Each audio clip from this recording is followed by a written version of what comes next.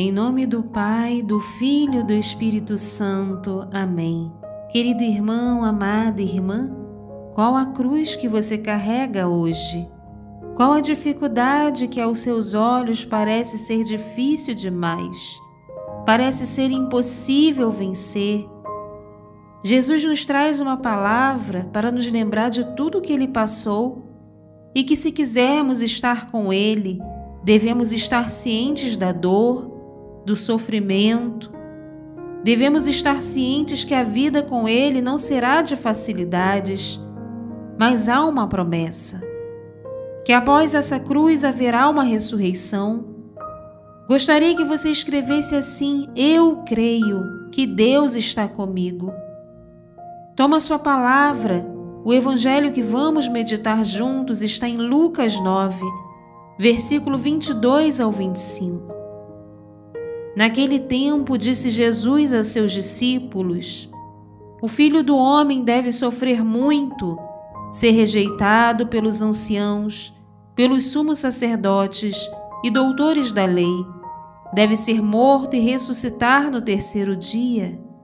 Depois Jesus disse a todos: Se alguém me quer seguir, renuncie a si mesmo, tome a sua cruz cada dia e siga-me.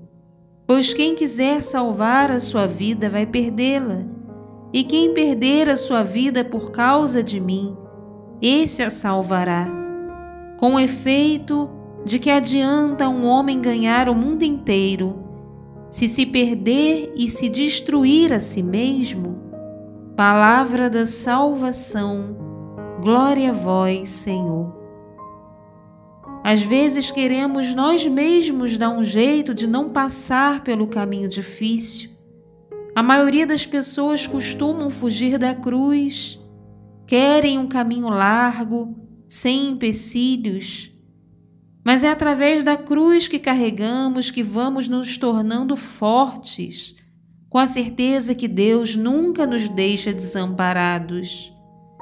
São muitas as situações que ficamos tentados a achar isso. Quando as coisas não se resolvem, quando temos mais problemas do que soluções. Mas Jesus nunca nos enganou. Ele sempre foi claro em nos dizer que caminhar com Ele, ser seu seguidor, não é algo para todos, mas para poucos, porque envolve renúncia de si e são poucos os que querem isso. São poucos que acolhem com maturidade esse propósito. Entenda, Deus não quer o nosso mal e nunca será assim. Mas o discipulado de Cristo tem vitória após muita luta. E talvez você esteja assim hoje, passando por muitas lutas.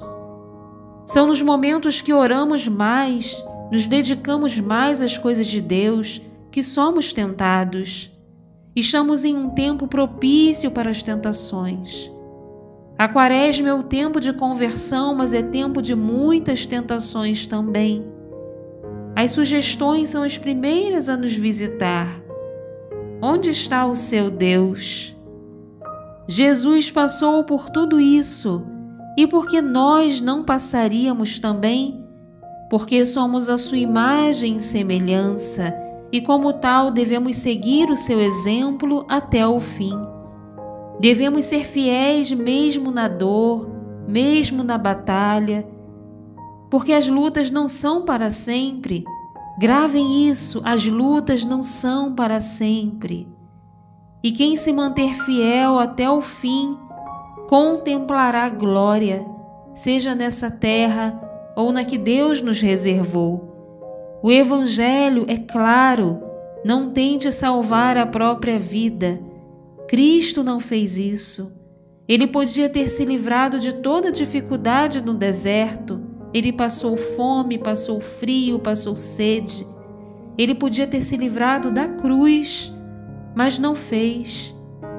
Persevera, filho, persevera, filha.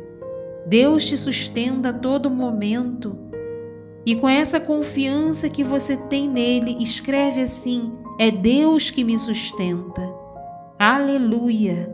Eu creio em um Deus que está sempre ao nosso lado, em um Deus que sempre nos ajuda a carregar o fardo que para nós parece pesado, mas na verdade é o peso que conseguimos carregar, e um Deus que é misericórdia infinita e nos ama. Louvado seja o nome do nosso Senhor Jesus Cristo, para sempre seja louvado. Que a paz de Jesus e o amor de Maria esteja sempre contigo. Deus te abençoe e te proteja. Até amanhã, se Deus quiser. Em nome do Pai, do Filho e do Espírito Santo. Amém.